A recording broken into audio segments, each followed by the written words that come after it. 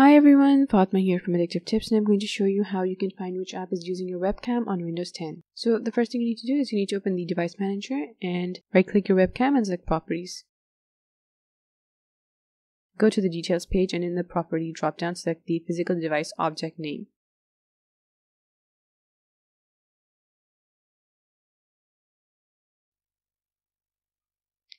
In the value section, right click the name and then select copy. Next, you need to download an app called Process Explorer. Run it and then tap the Ctrl plus F keyboard shortcut. In the search box, enter the physical device object name that you copied and tap enter.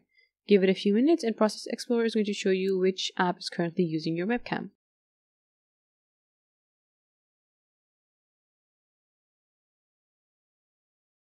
Now there's one other method that you can use to find out which app is using your webcam, but it may not work for all apps. Open the Settings app with the Win plus I keyboard shortcut and go to the Privacy group of settings, select the Camera tab, and go through this list of apps.